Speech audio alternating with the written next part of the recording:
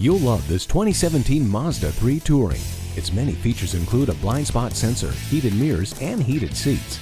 It has rain sensing wipers and a moonroof. And it also has alloy wheels and a rear spoiler. Come on out and take it for a test drive.